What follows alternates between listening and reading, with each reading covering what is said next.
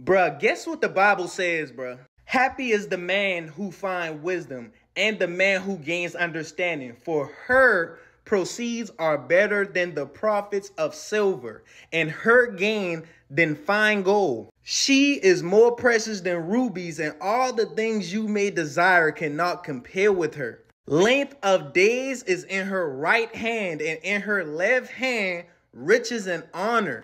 Her ways are ways of pleasantness, and all her paths are peace. She is a tree of life, and for those who take hold of her, and happy are all who retain her.